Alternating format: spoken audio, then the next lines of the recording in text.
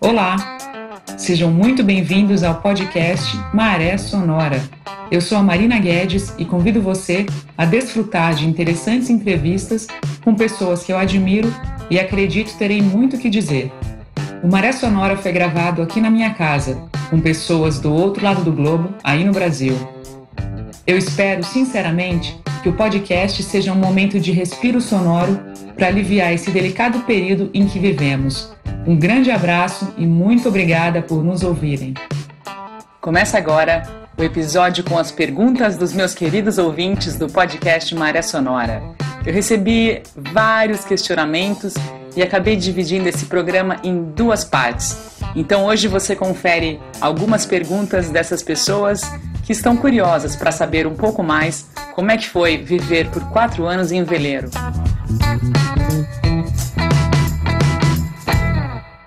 Olha, a primeira pergunta, ela é uma pergunta que foi feita por três ouvintes do Maré Sonora. Pela Neuza e pela Marinês de São Paulo. Então, tinha que colocar essa pergunta em primeiro lugar, porque a Marinês é minha mãe e tia da Marina.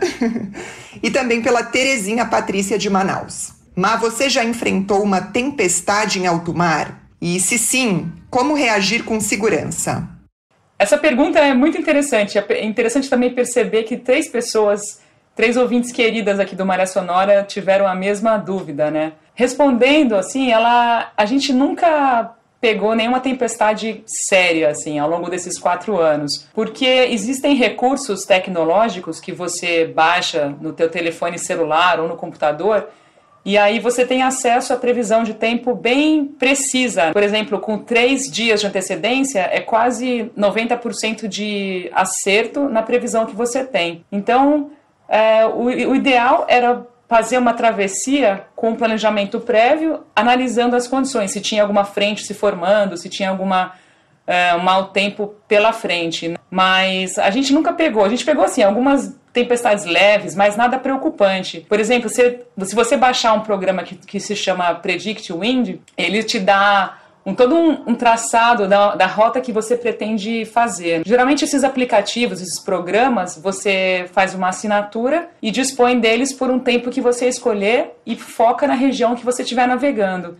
Então é super comum as pessoas é, não usarem mais as cartas náuticas de papel e usarem as cartas náuticas eletrônicas, né? esses, esses programas eletrônicos Surpreendentemente, tem gente até que viaja com só um smartphone e, e vê a carta náutica no telefone. Então é impressionante a quantidade de recursos tecnológicos que você tem. Você, se tiver numa travessia mais longa, não tiver acesso à internet, baixa, por exemplo, a imagem de satélite através de telefone satelital que você deve ter no barco, ou então por rádio de alta frequência.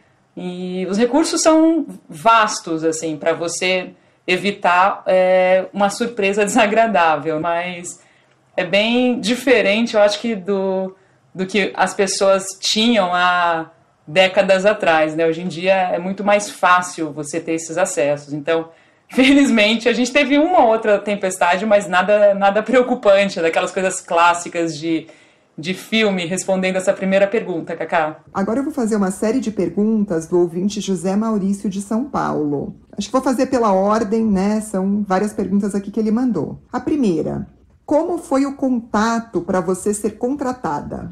O José Maurício, meu querido primo de São Paulo, mandou uma, uma, uma, bateria de perguntas. Jornalista queridíssimo. Vamos lá, vamos responder a primeira então. É, o contato aconteceu por meio do site findacrew.net, que é o principal é a principal rede de navegação, né, é, é, online, enfim, mas é super interessante porque, como a gente tinha conversado até no primeiro episódio aqui do Vinda Embarcada, você faz um perfil lá e aí procura os barcos de acordo com que, o com que você deseja. Veleiro, barco a motor, balsa, tudo, tudo incluso.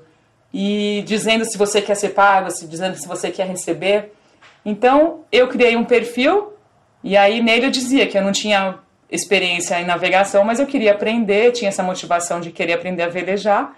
E o Diego, coincidentemente, estava querendo tripulação para a viagem dele. Então a gente começou a conversar pelo chat do, do Find the Crew, e aí é, a gente depois partiu para o Skype e co continuou conversando por telefone. Então a gente foi conversando por uns dois meses até que eu tomei a decisão de comprar passagem é, para voar em outubro de 2016. A gente começou a conversar em julho de 2016 e começo de outubro eu estava voando para os Estados Unidos, onde ele estava já. Talvez você já esteja falando um pouquinho da segunda pergunta do José Maurício, que é a questão da entrevista, né?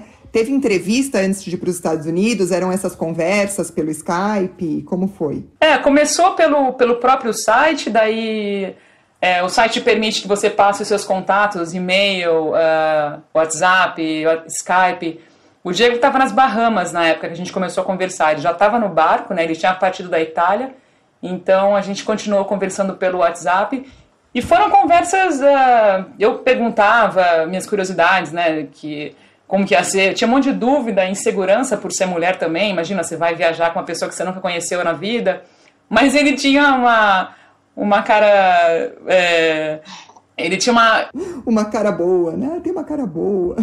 É, ele tinha uma, um semblante não de maluco, né, não de psicopata, me pareceu ser uma pessoa normal, decente e, né, gente boa, e eu gostava das respostas que ele me dava, então tinha um senso de humor muito legal. E aí falei, ah, eu acho que dá para confiar nessa, nessa pessoa, né? E, e foi isso. Eu, meus pais, eu até tinha falado para ele, olha, você tá para conversar com meus pais por Skype? E ele falou, claro, né? Sem problema nenhum. E até hoje ele me, me sacaneia, ele tira sarro porque essa conversa com meus pais nunca aconteceu, né? Ele fala, ah, mas e aí aquela pergunta? Seus pais não queriam falar comigo? Como assim? Eu falei, ah, pois é, eu que na verdade estava na dúvida e perguntava um monte de coisa falando que as pessoas queriam saber, mas eu, eu mandei uma bateria de perguntas para ele. Então eu falei, puxa, desculpa a quantidade de perguntas, mas se eu não, não, não fizer, não, não, não, não, fizer essas perguntas, não tem como saber, né? Você tá no escuro, né? Falando com uma pessoa que você nunca conheceu na vida. Então foi, foi por aí. Foi engraçado, mas foi bem descontraído. Não teve nada de formalidade, de entrevista, assim. Foi sempre virtual até que a gente se conheceu quando eu, vou, quando eu, quando eu cheguei, né? Que ele me buscou em Miami, nos Estados Unidos. É interessante que você foi entrevistado e entrevistou também, né? Você fez as, as suas várias perguntas, como você falou. Falando em Estados Unidos, Ma, você já viajou para a Flórida sabendo quanto ia ganhar e o que você iria fazer? Não, a gente, eu falei para ele, eu tinha um, um, orçamento limitado, então eu falei, olha, é, eu estou disposta a para trabalhar, tal, aprender, fazer o trabalho de que uma tripulante normal faz, com a, com a parte de é, externa, de manuseio de vela, enfim, como o pessoal que faz a, a, o deckhand que eles chamam, né, trabalhar com as questões do barco em geral. Mas eu não tinha, a gente era tudo meio que em aberto assim. Então chega aqui que a gente conversa, vê como é que são as suas habilidades, que ele sabia que era a primeira vez que eu estava embarcando no veleiro. E foi meio que vamos ver quando você chegar aqui como é que vai ser, né?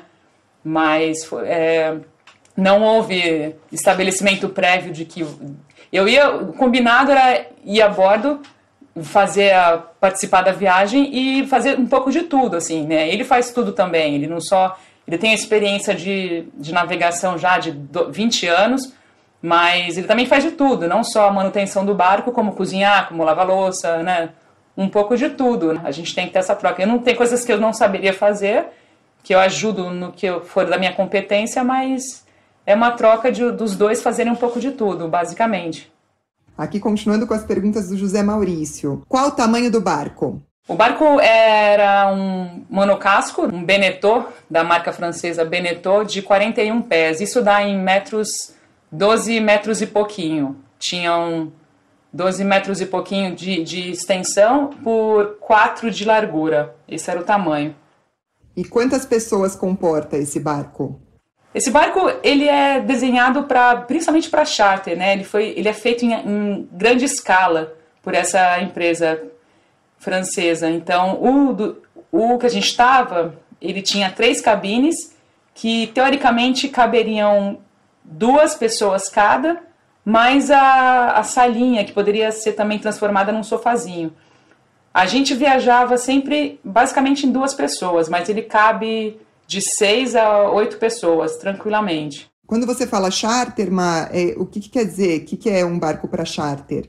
É um barco que as pessoas alugam para temporada. Então, uh, os donos de barco alugam para outra pessoa. A pessoa, por exemplo, vem da Grécia, aluga aquele barco, sai viajando com a família, ou então tem uma pessoa já contratada para ser o capitão. Mas é um barco usado para temporada, vamos dizer assim, para aluguel. Você era a única tripulante na viagem toda? Sim, desde que eu cheguei a bordo, sim. Mas a gente a gente recebia alguns amigos do Diego, amigos bem próximos dele. A filha do Diego sempre vinha todo ano. O meu irmão, Rafa, veio com a namorada também, com a Fê, por uh, alguma por oito dias quando a gente estava em Tonga. Então sempre vinha pessoas, eh, quer dizer, é, sempre não, mas vinham pessoas bem próximas, uh, uma média de no máximo 10 a 20 dias, ou um pouquinho mais. Foram essas pessoas, mas eu era tripulante oficial quando eu entrei. Em outras travessias que o Diego fez, outras partes da viagem, houveram outras pessoas. E, e além dessas pessoas, Má, vocês chegaram a dar carona para alguém durante uh, os percursos? Não, não. Uma vez um amigo nosso dormiu a bordo porque a família dele, isso em Tonga, né, um, um amigo americano, os pais dele precisavam levar o irmão mais novo no hospital, então ele não queria ir, ele veleja de kite, ele queria ficar velejando de kite, ele dormiu com a gente para poder ficar ali velejando no dia seguinte e não ir para a cidadezinha na vila, né, com os pais que iam ao hospital. Foi a única situação entre aspas de carona, né? A gente não chegou a se deslocar com ele, mas ele ficou com a gente um dia só para não precisar ir com os pais no barco dos pais. Mais uma pergunta, Má. O Diego ele saiu de barco da Itália e cruzou os dois maiores oceanos. É, ele fez a travessia do Atlântico sozinho. Imagino que aqui seja a ideia dele ter saído da Itália e ir até a Flórida, né? E se sim, se foi isso que aconteceu, qual foi o trecho mais difícil? O Diego, na verdade, ele não saiu sozinho da Itália um ano antes. Ele teve em, em trechos diferentes, pessoas diferentes. Ele saiu com um amigo próximo aqui da Itália e aí esse amigo teve que voltar para a Itália, daí ele teve outras pessoas em diferentes momentos, assim, é, que foram amigos, que foi, teve uma outra é, menina da África do Sul, que ela estava antes que eu, que eu, da minha chegada, mas ela teve um problema é, de família, teve que voltar, então ocorreram outras travessias com outras pessoas. Né? Eu, eu perguntei isso para ele hoje, qual foi a parte mais difícil, ele me disse categoricamente que foi sair, partir, partir da Itália foi a parte mais difícil, né? Então, é engraçado isso, porque ter, às vezes a gente tem uma data para sair, mas o tempo não permite, não é seguro. Então, sair daqui da Itália em setembro né, de 2015 foi, acho que, a, a parte mais difícil, mais desafiadora, conseguir sair. Interessante, mas então ele atravessou o Atlântico nesse primeiro momento, antes de vocês se encontrarem. Sim, ele atravessou o Atlântico, fez uma temporada no Caribe, é, foi para Cuba, depois ele voltou para os Estados Unidos. Ele ficou fazendo uma mini temporada no Atlântico antes de eu chegar em outubro, né?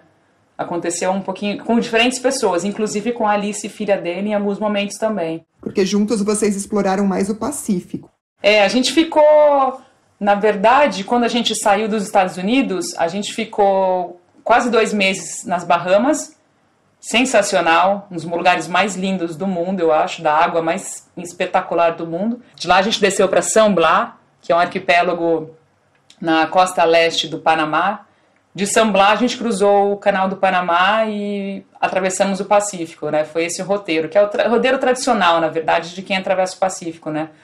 Ou você vem da costa oeste dos Estados Unidos e não precisa atravessar o Canal do Panamá, ou se você vem pelo, pelo Atlântico, cruza o Canal do Panamá, né? E foi, foi essa a nossa rota. Para você, Ma, qual foi o maior desafio na viagem? Eu acho que o maior desafio foi a travessia do Pacífico, por ser longa, por ser a primeira, praticamente a primeira travessia. Eu tinha feito uma travessia antes, que foi de das Bahamas até San Blas, que durou uma semana mas foi a mais intensa, uma travessia mais é, desafiadora foi, com certeza para mim foi a do Pacífico, os quase 24 dias sem parar, direto do, do de, da cidade do Panamá até a ilha de Fatuíva, nas Marquesas, quase 4 mil milhas, né? Isso dá aproximadamente 8 mil quilômetros.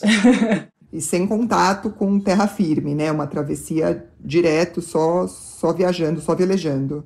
Só velejando, né? Só, só escutando diariamente outros velejadores por meio do rádio de alta frequência, né? Que diariamente haviam essas, essas rádios em que as pessoas dizem a, a, posição por uma coisa de segurança, né? Essa chama Pacific Pedal Jump, né? Como se fosse um saltinho na poça d'água, né? É uma piada até. Então o pessoal todo dia reporta a sua posição e, consequentemente, também pega a, a, as posições das outras pessoas e dá um alô rápido tal. Então, todo dia a gente escutava de manhã e à noite o posicionamento das pessoas e passava o nosso. Eram, eram, uns, eram uns, a troca de a conversa diária a bordo por 24 dias. Mais uma pergunta, Má. Em que moeda os tripulantes costumam ser pagos e como são feitos os pagamentos?